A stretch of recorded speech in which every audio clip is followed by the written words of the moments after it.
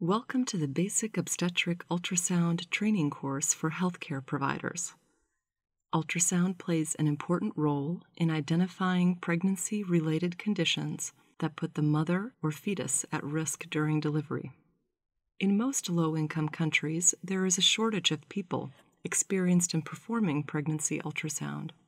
This course was created to train healthcare workers to perform basic pregnancy ultrasound in parts of the world where formal training is not available. The videos, as well as other educational materials, available at tinyurl.com backslash UW ultrasound, are designed to be used in a two week ultrasound course. The hands on sessions in the trainer's guide are an essential component of this course and must be supervised by an experienced ultrasound practitioner. This is not a comprehensive pregnancy ultrasound course and does not result in an official certification or diploma. After you finish the course and pass the written and practical tests, we strongly recommend you have at least 40 hours of scanning experience with clinical mentoring before you undertake unsupervised scanning. My name is Dr. Kristina Adams Waldorf, and I will be narrating this video in our pregnancy ultrasound series. This video will teach fetal and pelvic anatomy that can be seen with ultrasound in the first trimester. Please visit our website for access to all of our video and training materials. Now we will discuss some of the anatomy that becomes important in the first trimester of pregnancy.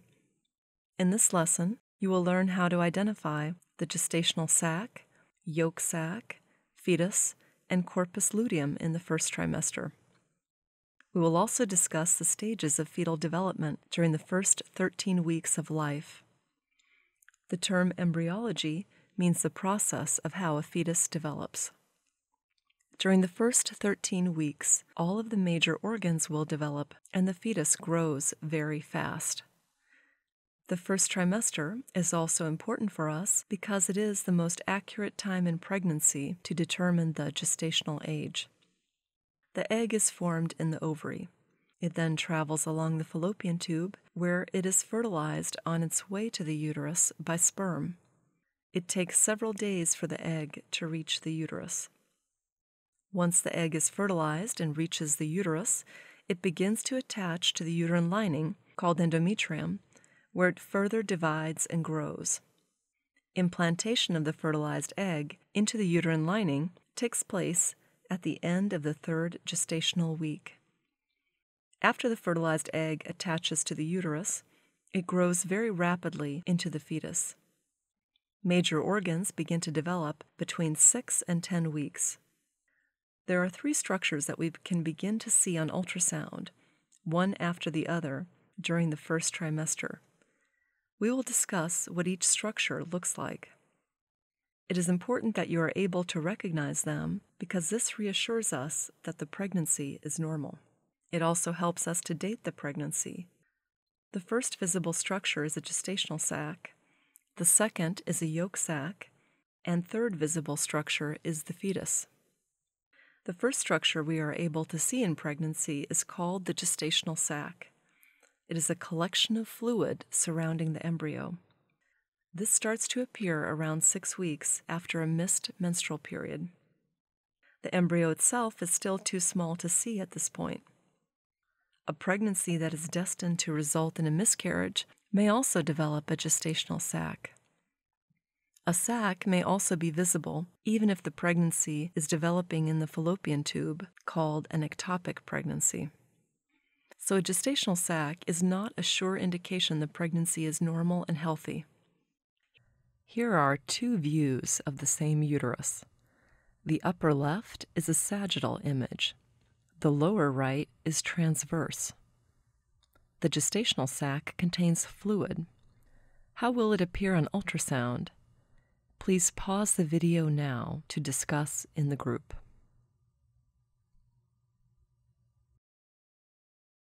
The answer is that the fluid will appear black. The gestational sac in each image is now outlined. Later, you will learn how to measure the gestational sac to determine the gestational age. The next normal structure that will appear in the first trimester pregnancy is the yolk sac.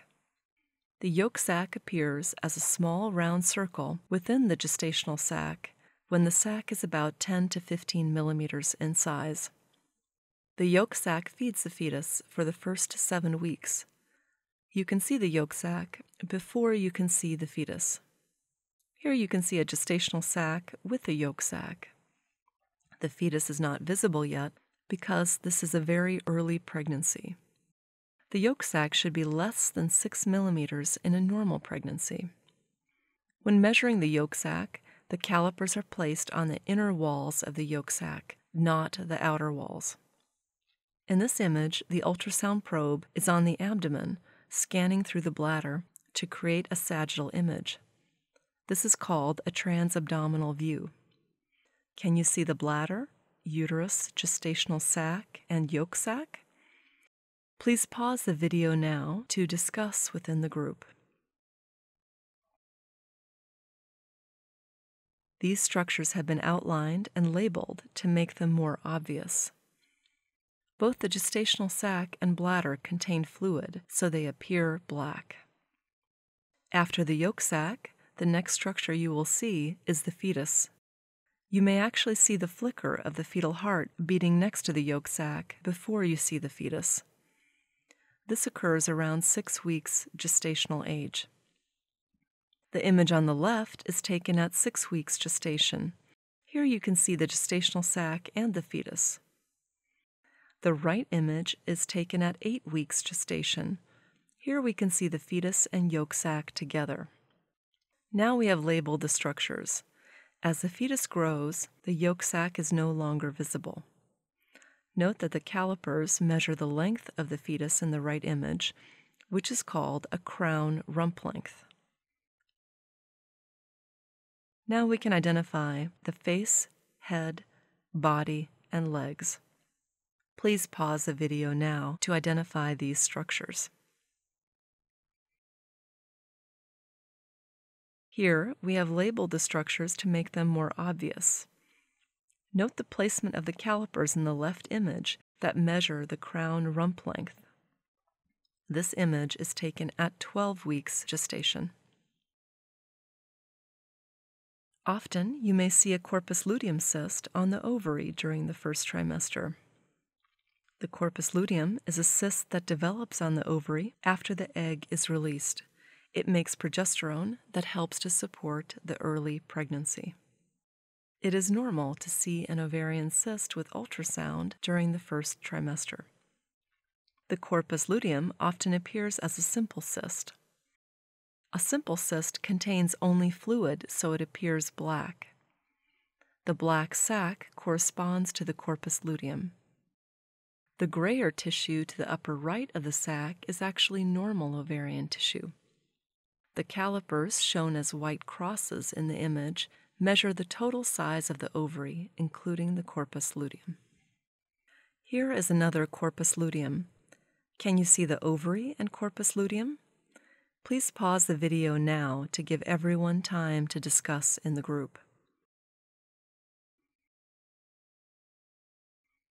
Here we have labeled the corpus luteum and outlined the ovary to make them more obvious. Sometimes there is echogenic material inside the corpus luteum when it bleeds. This gives the corpus luteum the appearance of a complex cyst and is also normal. Can you identify the echogenic material inside the corpus luteum in each image? Please pause the video now to give the group time to discuss. Here we have labeled the echogenic material within each cyst to make it more obvious. If the corpus luteum gets large, it may cause pain. This is common. After 10 to 12 weeks, the ovary should go back to a normal appearance with no visible corpus luteum. Progesterone is then produced by the placenta. Now let's see if you remember what we just learned. Pause the video now to give the group time to discuss the questions. The first question is What is the first structure seen in the first trimester? The answer is a gestational sac. What is the next structure you should see? The answer is a yolk sac. What structure appears after the yolk sac? The answer is a fetus. Which cystic structure is visible in the first trimester? The answer is a corpus luteum. Where is the corpus luteum located? The answer is in the ovary. Let's review the key points. Normal structures seen in the first trimester are the gestational sac, yolk sac, and fetus, in that order. Corpus luteum cysts can be simple or complex. In the next lesson, we will learn how to measure the gestational sac or the fetus to very accurately date the fetus and determine the due date. Here are questions for review. Why is it important to have accurate dating of the pregnancy? The answer is that it helps families plan for the birth, helps healthcare workers determine the date of a C section if necessary, and helps to measure fetal growth. How long is the first trimester? The first trimester includes a period of time in early pregnancy until the end of the 12th week. List the order of the pregnancy structures that should appear in the first trimester on ultrasound. The answer is a gestational sac, yolk sac, and then a fetus. What is the earliest week you can see a gestational sac? The answer is about six weeks gestational age. What does the corpus luteum do? It produces the hormone progesterone. Thank you for your attention and interest in learning pregnancy ultrasound. Please pause this video now to ask your instructor any questions about this course. We thank the following individuals who played a major role in course development Dr. Robert Nathan, Dr. William Marks, and Nicole Goldsmith, registered sonographer. Many other individuals contributed valuable time and expertise in the instructional design and materials development, including Dr. Kristina Adams Waldorf, Dr. Scott Barnhart, Dr. Michael Kawooya, Susan Kingston, and Stacy Lissett. Finally, we wish to thank Dr. William Marks for the use of images from his book, Ultrasound A Practical Approach, and Jennifer Summers and Jan Hamanishi for graphic design and illustrations the University of Washington Department of Radiology has trained healthcare workers in pregnancy ultrasound in many parts of the world. If you have questions about this video or course, please contact Dr. Robert Nathan, Dr. William Marks, or Dr. Kristina Adams Waldorf. This course was collaboratively developed by the University of Washington Department of Radiology, Obstetrics and Gynecology, and the International Training and Education Center for Health, I-TECH. It was made possible through a grant from the GE Foundation. Consano also contributed funding. We are grateful for the video production sponsored by the University of Washington Institute for Simulation and Interprofessional Studies. Please visit our website at tinyurl.com backslash UW ultrasound to access all of our training materials. This material is copyrighted. You are permitted to copy, distribute, and post to websites. You are permitted to modify the content to adapt to specific populations and user needs on the condition that you include attribution to the University of Washington and retain any copyright notices and citations and attributions included in the original Basic Obstetric Ultrasound Training for Midwives. The material in this video is provided for information purposes only. The University of Washington Institute for Simulation and Interprofessional Studies does not take responsibility for the accuracy of the content in this video.